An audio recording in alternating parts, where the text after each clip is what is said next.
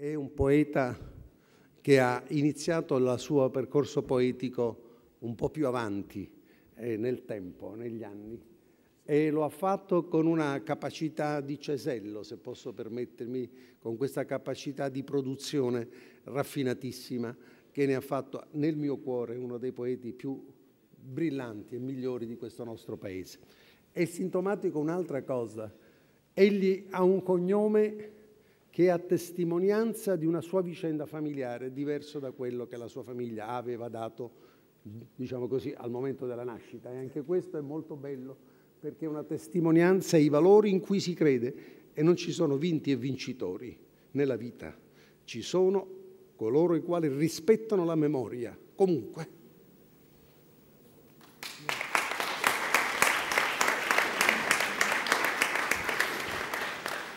Quindi l'ottava edizione dei ritratti di poesia motiva il premio della Fondazione Roma Ritratti di poesia a Giampiero Neri con questa motivazione. Osserva la realtà scrutandone ogni frammento con paziente meticolosità. Sono gli esiti di questo lavoro minuzioso a formare soggetto e oggetto della sua poesia, tessitura di un teatro naturale in cui viene rappresentata allegoricamente la condizione umana Nell'opera di Neri la natura si intreccia alla memoria e alla parola, terza ed essenziale, diventa descrizione dell'esistere, traccia dell'esperienza quotidiana della vita e suo insondabile mistero. Questa è la motivazione con cui gli è stato attribuito il nostro premio. E lo sono. Grazie. Molto felice di consegnarlo. Prego ora un grande artista che è Ugo Pagliai, grande amico, a cui voglio molto bene. Grazie. Grazie. Buongiorno a tutti. Grazie.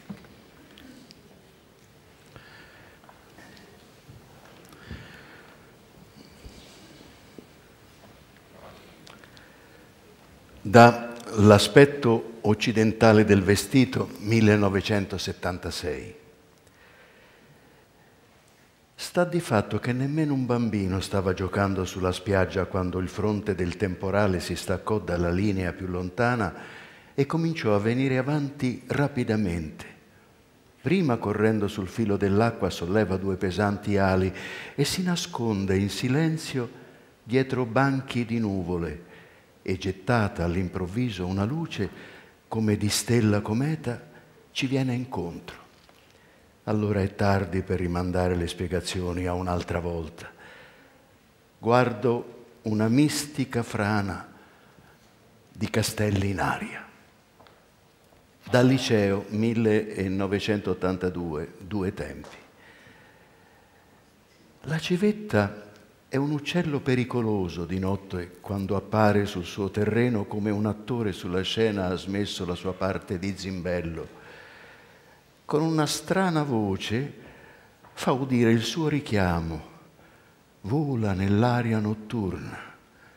Allora tace che si prendeva gioco, si nasconde dietro un riparo di foglie, ma è breve il seguito degli atti.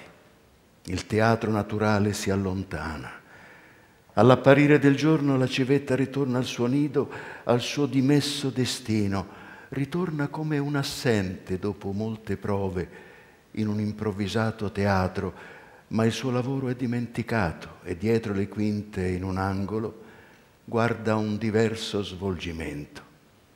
Dal principio alla fine è conveniente seguire ogni giustizia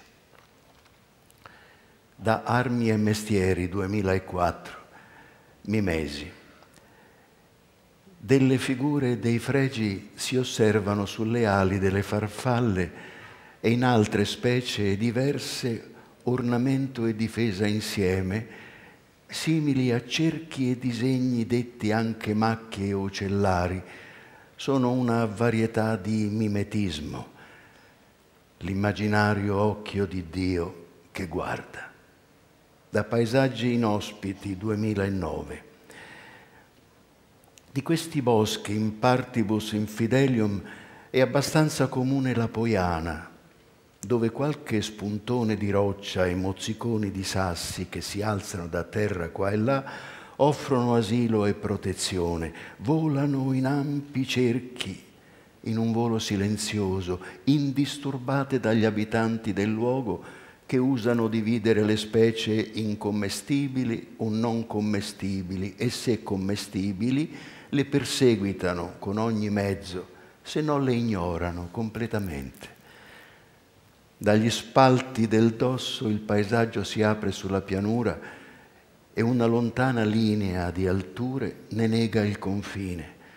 A una stessa ora c'è una macchia più scura fra le foglie, un battito d'ali, un volo calmo sulle cime degli alberi, la poiana che si appresta ai suoi compiti decide con una sola occhiata. Del suo volo solitario che volteggia nell'aria si riflette un'ombra nell'erba come una impronta che si staglia netta un istante prima di scomparire. Fontana del Novecento.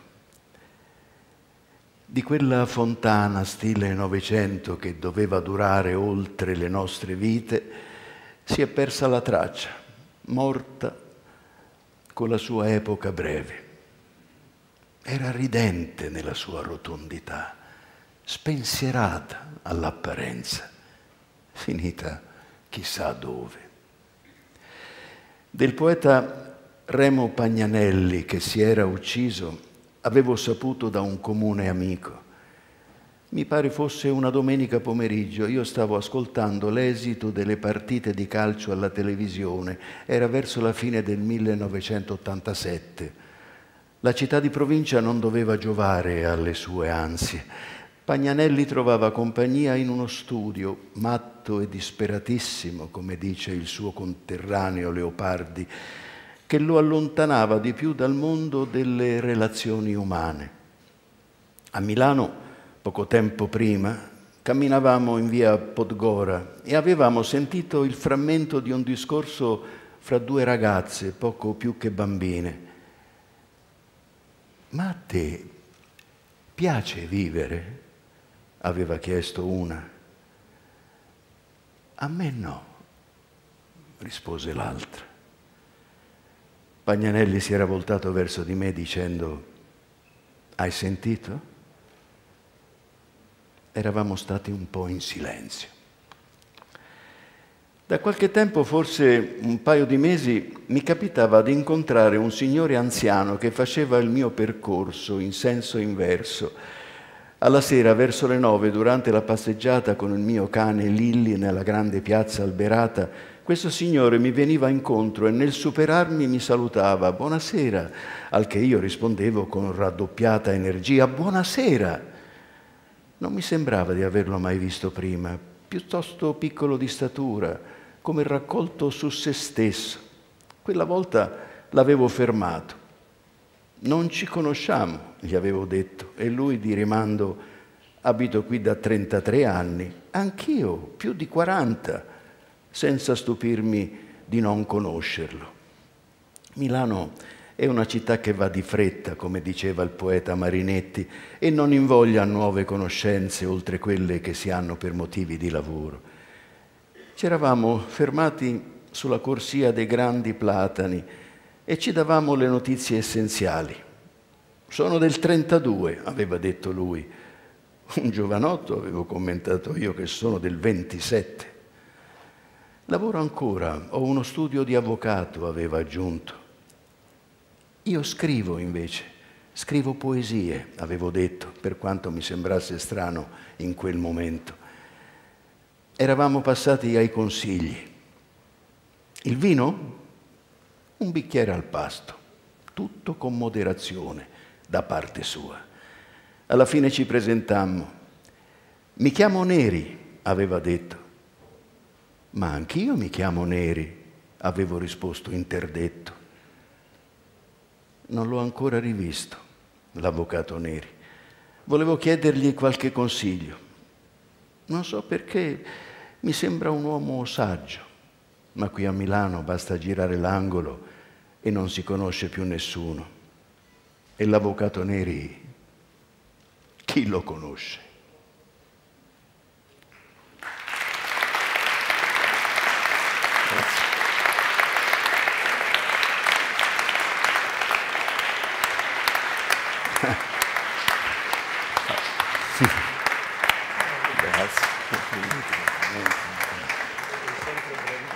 Grazie, grazie. Sì.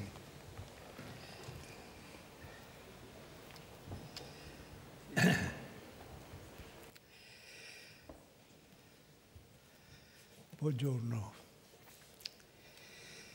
Ma io ho inteso la, la poesia soprattutto come conoscenza, sicché prima come lettore ho cercato di capire quello che voleva dire un autore, il suo mondo, eh, anche il motivo per cui scrivesse. E, e poi come quando ho cominciato a scrivere in proprio, eh, ho continuato su questa linea nel senso che ho cercato la mia verità, ho cercato di capire quello che mi era accaduto. Mi sono occupato soprattutto del, del tema dell'aggressività. Passo per un, per un, poeta che si occupa di, di storia naturale, di, di zoologia, di ma in realtà sono, diciamo così, maschere del mio lavoro, il quale lavoro invece si incentra proprio su questo tema del male. Perché c'è questa aggressività? E poi, e poi, ho fatto anche delle scoperte. Ho scoperto che il, il bene del lupo è il male della pecora, ma Viceversa, anche il male della pecora è il bene del lupo. Sicché c'è qualche cosa di, di ambiguo nella natura, di, di ambivalente e, e che quindi alla fine, come nei bilanci, alla fine il conto torna. Basta, non, non credo di poter aggiungere altro.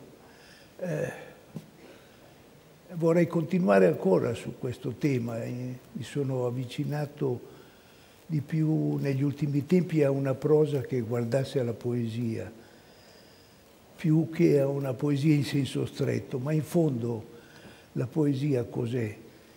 Per Paul Celan la poesia è anche una stretta di mano.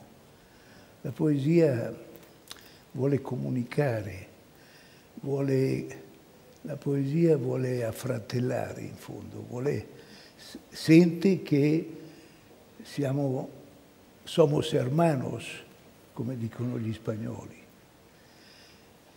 e che quindi, e che quindi le, le, anche la guerra sotterranea che si fanno i poeti lascia il tempo che trova. C'è qualcosa di più importante ed è appunto la, la ricerca di, di quello che siamo, di quello che rappresentiamo, delle nostre maschere sul teatro della vita. Grazie.